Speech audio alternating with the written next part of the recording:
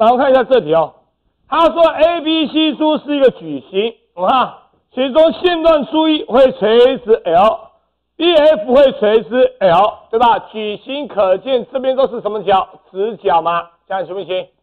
各位可以后在题目说什么？A、F 的长度是几？七，好不好？哎，A 长度是几？二，这段长度是七，这段长度是二，求 AC dot AF 怎么算？向量 AC dot 谁？向量 AF 来，问题来了，向量 AC dot 向量 AF 怎么算？这题哦有一个重要地方，AC dot AF 来。老师想请问一下哈，AC dot AF，老师我知道把向量 AC 的长度乘上向量 AF 长度，再乘上这两个夹角，是不是就出来了？问题是这两夹角好不好算？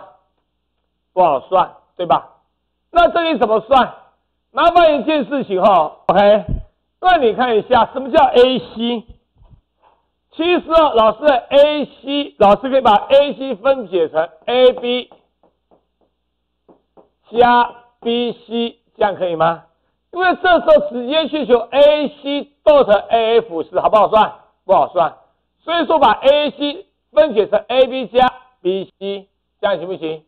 好，老师想请问一下，其实哦，OK，什么叫 BC？B C 其实就是谁？A 柱，这样行不行？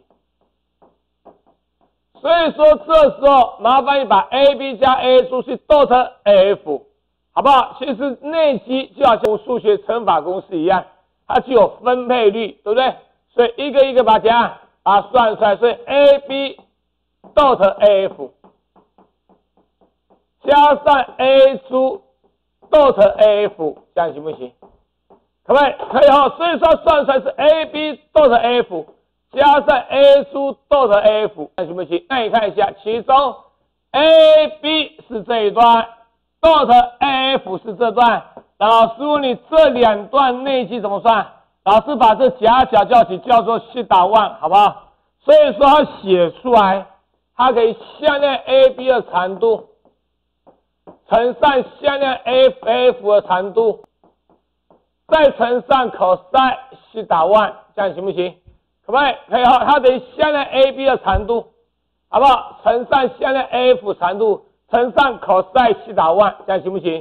其中你看一下，我们这边是一个直角，对不对？题目说这边是直角，所以说老师问你，这是 AB 向量 AB，你看这一段，AB 的长度乘上 cos 西打 y，AB 的长度乘上 cos 西打 y。可以视为 A B 投影在这一段的投影量，对不对？对吧？所以 A B 的长度乘上 cos 西塔，刚好等于几 A F，对吧？所以要写出来是等于向量 A F 长度不动，这 A B 的长度乘上 cos 西塔 y 这段去乘上 cos 西塔 y 刚好是 B 投影下来这段投影量是几？线端 A F，这样行不行？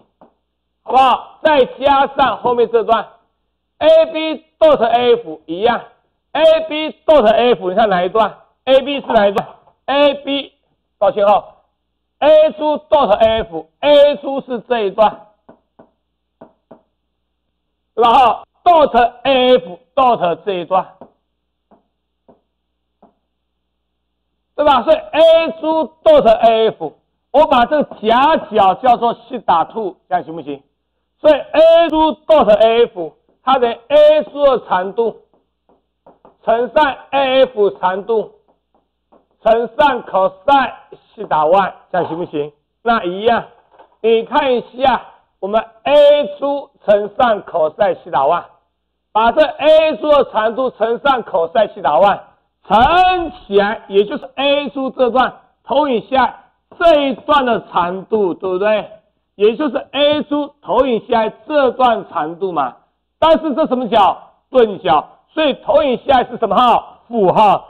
所以说老师问你，这时候向量 AF 不动，所以向量 A 柱的长度乘上 cos，抱歉哈，这叫西打兔，这样行不行？